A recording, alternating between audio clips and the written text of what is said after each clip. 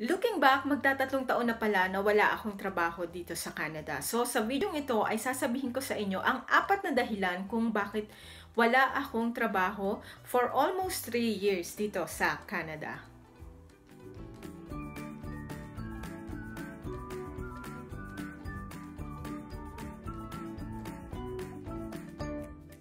Hello everyone! So ngayong araw na ito, magtatapong kami ni Bebe ng garbage. So papakita namin sa inyo kung saan namin tinatapon ng aming garbage. Let's go! Ayan, so palabas kami ng building ngayon. Ang kuhat-kuhat ko si Bebe. Kuhat-kuhat ko rin ng garbage. Ayan. Ay. So, ito. May code kasi yung ano, basurahan. So, ikikiin ko pa yung code bago makapasok. So, yan.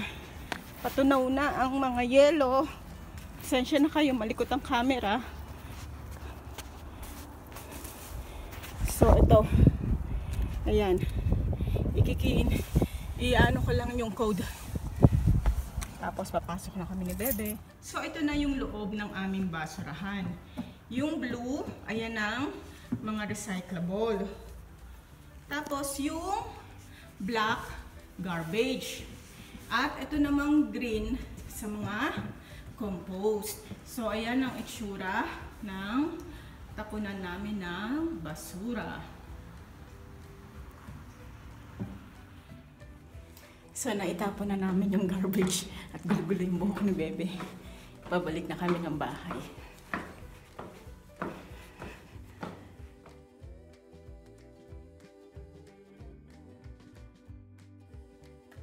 So, kung magtatrabaho ako, kailangan kong umalis ng bahay. And kung aalis ako ng bahay, walang may iwan kay bebe. Ang tendency is uh, ipasok ko siya sa daycare. Pero dahil na rin sa cost of daycare dito, ay parang hindi yata yun ang best choice kasi medyo magastos din siya. And aside from that, syempre, pag sa daycare, maraming mga bata.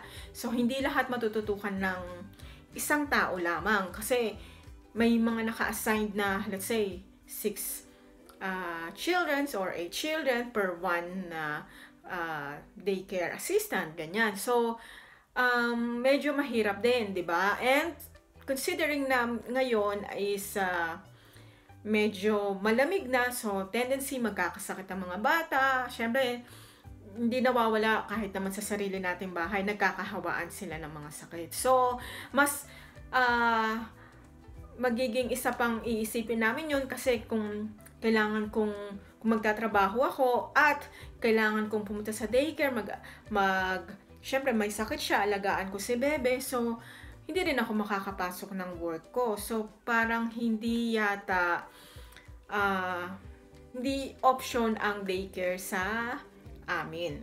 Having said that, uh, ang second reason is yung expenses exceeds income. So, kung halimbawa papasok man ako, hindi naman kasi kalakihan din yung kikitain ko. Tapos, ipambabayad ko pa sa daycare. So, parang hindi siya practical para sa aming family. Pagkatapos na syempre, bibili pa ako ng mga clothes ko or kung halimbawa naman mamamasahe ako or kung magdadrive naman, syempre yung sa gas. So, yung mga expenses, eh, kung so, tototalin mo, mas parang mas malaki pa yung magagastos ko. Parang mag-aabono pa ako. Kung magtatrabaho ako, kesa sa mag stay ako dito sa bahay. Say mo nga, Mama. Mama. Very good.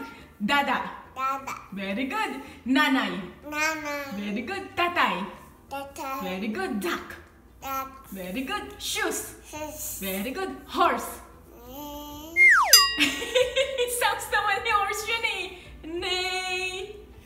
Ang pangatlo naman na reason is I don't want to miss uh, Bebe's milestone. Kasi late na rin ako nag, uh, nagka-baby uh, gusto ko sana sa mga first niya, nandun ako. Kasi I believe na the first 1,000 days ng isang bata is napaka-crucial for brain development. So, I want to be there sa mga times na yon.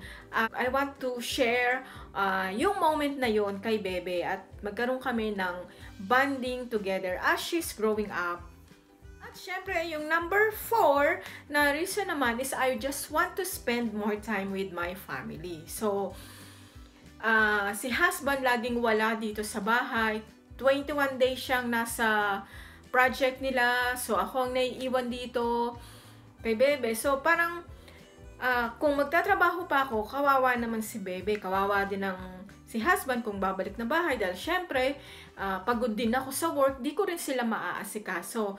But since gusto ko talaga na magkaroon ako ng time sa kanila, so uh, we decided na magstay na lang ako dito sa bahay. So, yun ang mga reason kung bakit wala akong trabaho dito sa Canada. Pero ang kagandahan kasi dito is, since wala naman yung mga age limit na ganyan, you can work na kahit na medyo matanda ka na, they are accepting. Hindi kagaya sa atin sa Pilipinas, parang meron pa rin tayo nung tinatawag ng mga age limit, age limit. Eh, pag ganito ka na, parang hindi ka natatanggap, ganito na yung age mo, nag 40 plus ka na, parang ang hirap mo na makahanap ng trabaho. Pero dito, as long as you are able, at masipag ka naman magtrabaho, gusto mo pang magtrabaho, talagang tatanggapin at tatanggapin ka pa rin ng mga companies. So, hindi sila tumitingin sa age mo.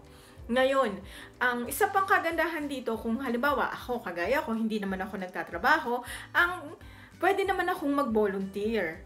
Nagagamit ko pa rin yung skills na gusto kong uh, i-improve.